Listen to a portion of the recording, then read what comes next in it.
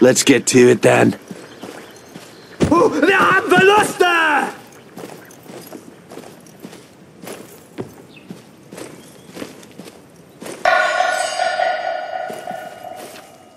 Er Versteckt sich in der Nähe. Ich rieche seine Angst.